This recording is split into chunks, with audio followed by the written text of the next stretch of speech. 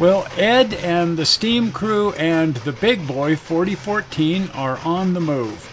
The westward bound tour has begun, and they should be arriving Rock Springs somewhere around 3 p.m. today.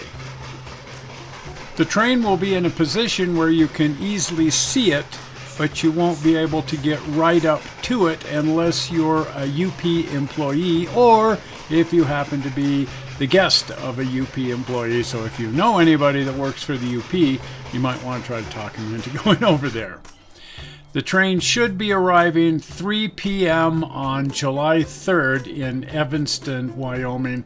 Here again, no public access, but it will be parked there on China Mary Road, and you can see it from the road. And again, if you know a UP employee, you can get right up to the locomotive.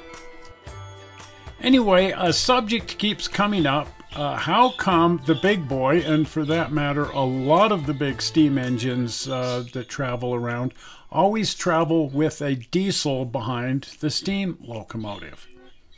As always, there is a good deal of misinformation on the internet, but there are several reasons why you will almost always see a diesel locomotive behind the steam locomotive and its three tenders. Some of the misinformation is that the diesel is actually pulling the train and it's only pushing the steam locomotive, uh, which isn't really operating, it's just fake. In this particular case, the diesels were pushing the big boy. This is back when the big boy was being moved to Cheyenne for restoration. That is the only time that the steam locomotive was actually being pushed by, or in this case, pushed and pulled by the diesel locomotives. For reference, let's just take a quick look at the controls. This is uh, the cab of 844, just so we can get a sense of this. This is the throttle, this big handle here, that puts steam into the system and makes the train go forward or reverse.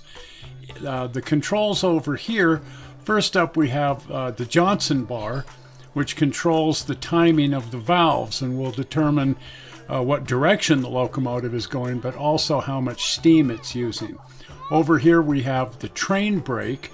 There are two different braking systems on these locomotives the train brake, and over here, an independent locomotive brake. It's very important when operating a train to be able to control the brakes separately between the train and the head end, the locomotive, so that you can uh, cause the train to bunch up behind the locomotive or stretch out behind the locomotive, controlling the slack in the train. Here we can see the uh, pressure valves for the two separate air braking systems. Over here we can see some of the electronics that have been added to the locomotive. This is the control panel that runs the throttle of the diesel locomotive. You can put it in any of the various throttle notches 1 through 8. We also have a direction control and an emergency stop uh, in order to put the entire train into an emergency stop. So one of the functions of the diesel locomotive at the head end is dynamic braking. The brake shoes on the steam locomotives are insanely expensive. Back in the day, of course, they could replace those out easily in the locomotive shop. Not so much anymore. These have to be custom made, and I believe Ed said that it costs $25,000 to put new brake shoes on uh, the big boy. And that was quite some time ago. I'll bet it's twice that much today. Anyway, what is dynamic braking? On diesel locomotives, of course, diesel locomotives are diesel electric. The diesel engine generates electrical power. The electrical power runs electric motors, uh, traction motors mounted to the axles of the locomotive, which is what makes the locomotive go forward. Well, for dynamic braking, those motors are used as generators, generating electricity, which is routed to huge resistors mounted in the roof of the locomotive.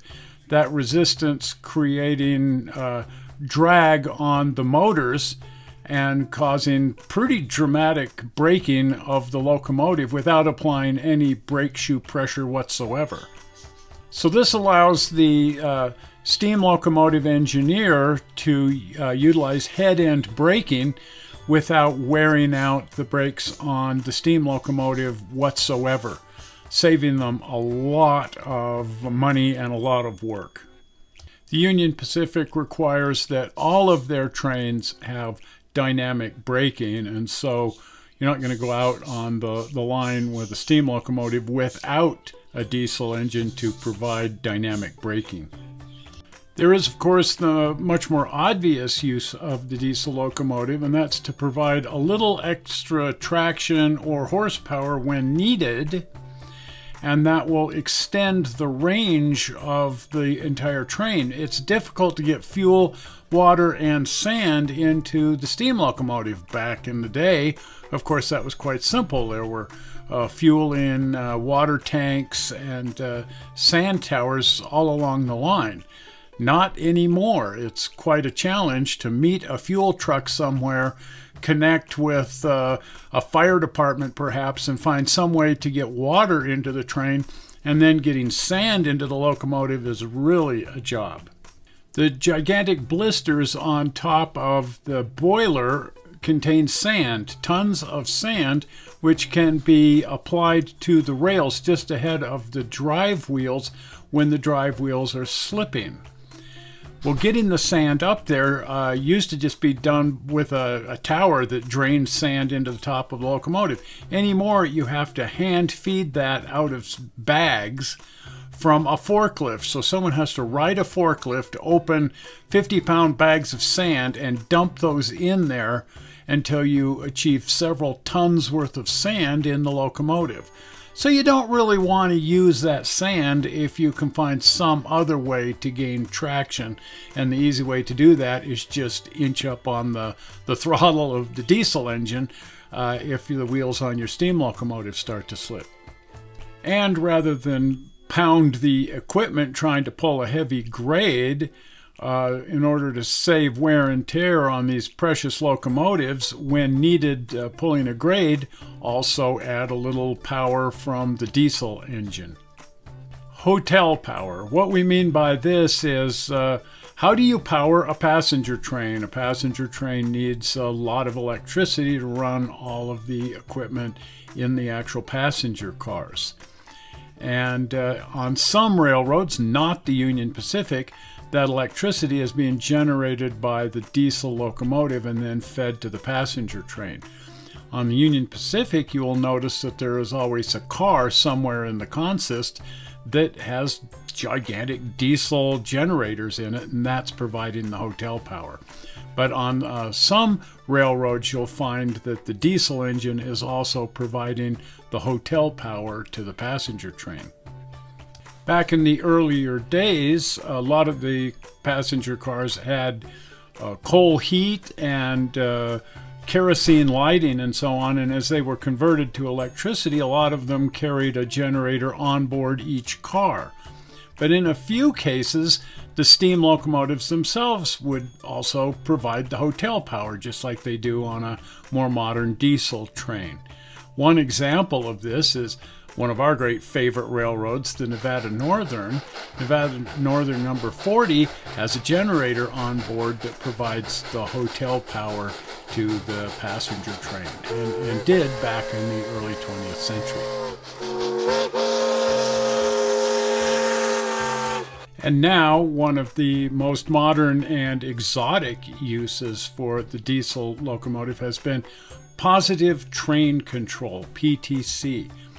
Uh, the government passed regulations some years ago requiring all trains on railroads to carry positive train control.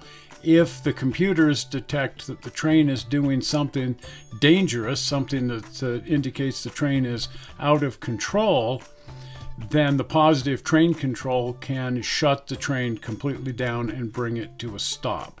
And again, under FRA regulations, that's now required on all trains on Class A railroads.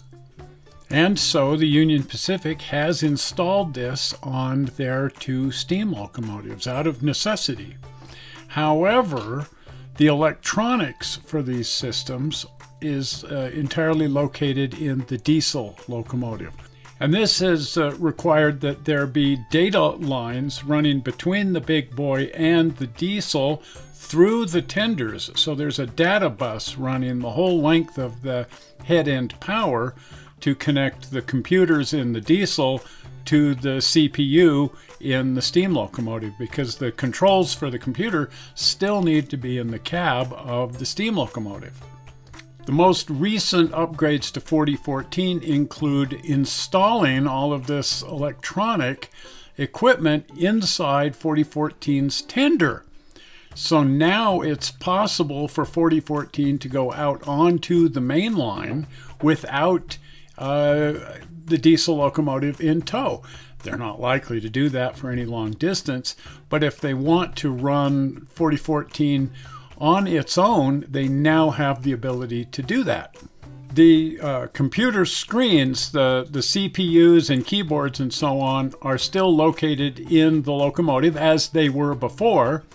Also, there's a duplicate computer terminal in the train so that the conductor can also monitor the train's location, uh, see a map of the grade, what grades they're about to climb, what grade they may be traveling down. A lot of very, very valuable information for the train crew is now displayed on the computer screen. And now, again, it's all self-contained.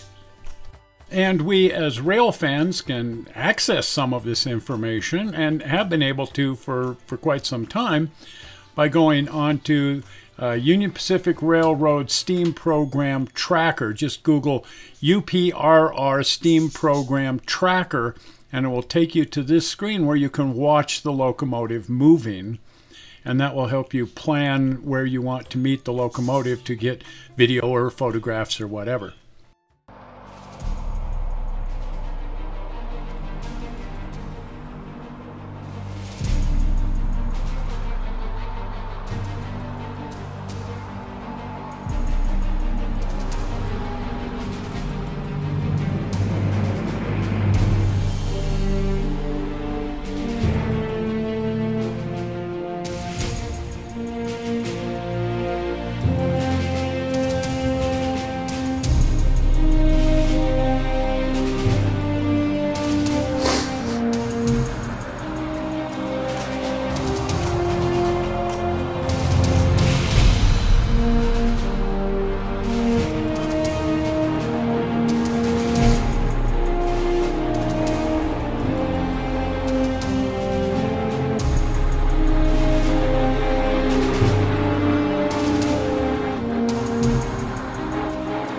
Rate, by the time uh, you see this video after it's posted, we will probably be out on the, the line somewhere, chasing the locomotive and having a grand time. And we're hoping that a lot of people are also out following the locomotive around. If you're not a subscriber to the channel, please subscribe and you might also consider joining which will send a couple of dollars our way it really helps out because uh, the ad revenues here on youtube have all but completely evaporated so you might want to please consider clicking the join button but at the very very least please click the upcoming subscribe button zoink right there the subscribe button well, we're not sure how you found this video on the internet. We hope you didn't find it boring, and we will see you here on Sunday. We'll see you then. Bye-bye.